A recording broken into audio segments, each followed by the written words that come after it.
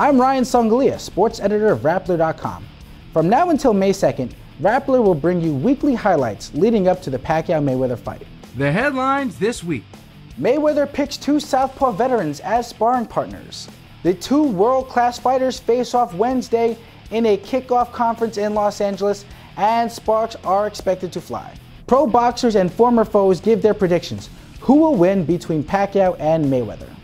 Both Manny Pacquiao and Floyd Mayweather Jr. are one week into training for their May 2nd fight at the MGM Grand in Las Vegas.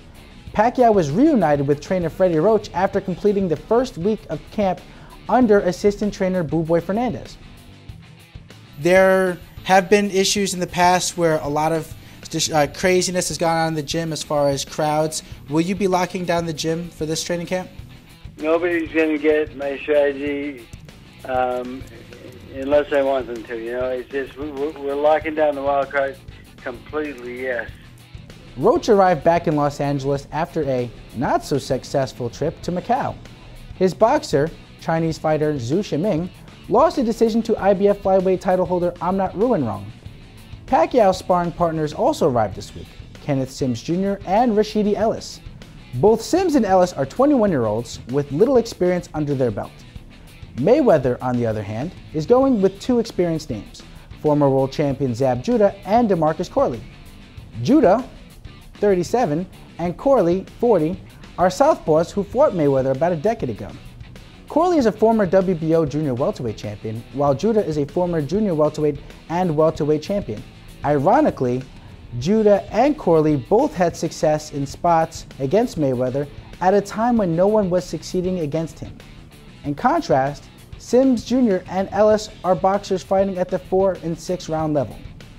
Their records illustrate the gap in experience. Who are the better sparring partners? Young and dying to prove themselves, or old and experienced?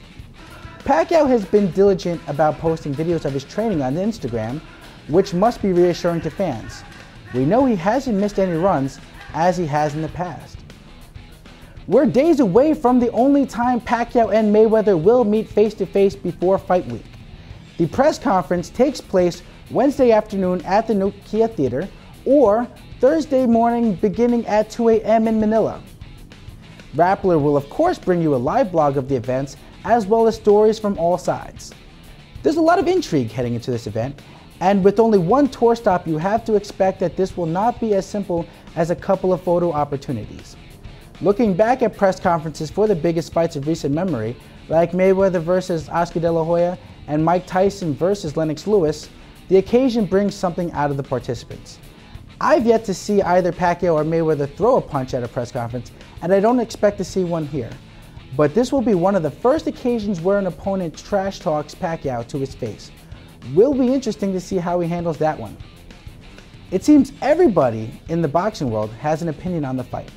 One of the more interesting ones so far comes from Miguel Cotto, who fought Pacquiao in 2009 and Mayweather in 2012.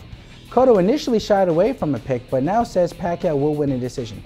It's noteworthy that Pacquiao and Cotto also share a trainer in Roach, it would have been awkward for Cotto to show up at the gym after voting against his gym mate. Shane Mosley, who also fought both guys, is picking Mayweather by decision, saying, The better technician will be Floyd Mayweather, and Mayweather has been fighting a lot more on the inside and throwing harder shots.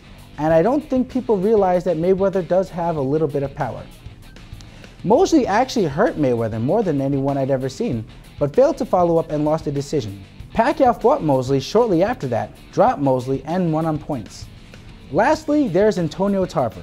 He ended the invincibility streak of the previous generation's greatest talent, Roy Jones Jr. Tarver warns Mayweather, Pacquiao can be dangerous. Tarver, a southpaw like Pacquiao, says, Pacquiao is a tremendous southpaw, something that Floyd Mayweather hasn't seen a whole lot of, and Pacquiao is moving at light speed. We've heard from some of the experts, now let's hear from you. Who do you have winning this fight? Let us know in the comments section. Rappler will be bringing you updates each week as we count down to the fight of this century so far on May 2nd. Make sure to tune in and follow along. Until next time, take care.